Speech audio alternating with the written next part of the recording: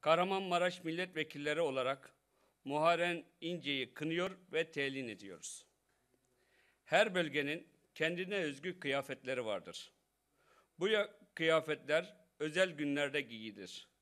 Ege'de Efe kıyafeti, Orta Anadolu'da Seymen kıyafeti, Karadeniz'de Keşan, Peştemal ve İhram, Güneydoğu'da Puşu, Trakya'da Bindallı, Pontol, Serace, Erzurum'da Zikva, Kahramanmaraş'ta ise çete kıyafeti giyilir. Bunları bilmeyenden siyasetçi mi olur?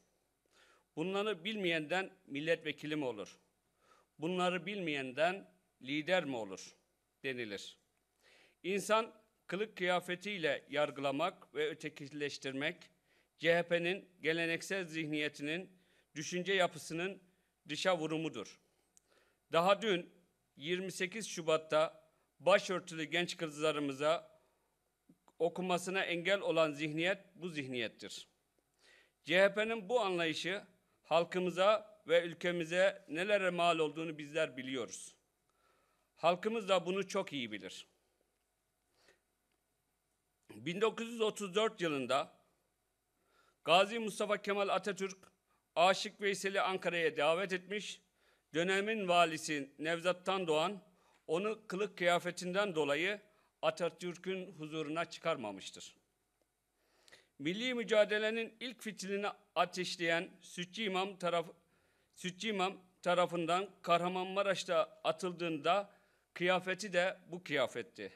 Rıdvan Hoca'nın Sena Manşe'nin düşmana karşı destansı mücadele verirken de hep üzerlerinde çete kıyafeti dediğimiz Kahramanmaraş'ımızın yöresel kıyafetleri mevcuttu.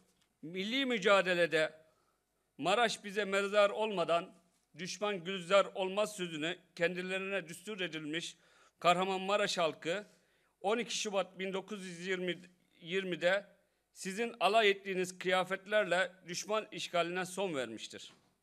Sütçü İmam sizin harkir gördüğünüz kıyafet ile düşmana ilk kurşunu sıkmıştır. Rıdvan Hoca geleneksel kıyafetiyle kalesinde Türk bayrağı dalgalanmayan ülkede cuma namazı kılınmaz diyerek milli mücadelenin öncüsü olmuştur. Halkı direnişe çağırmıştır.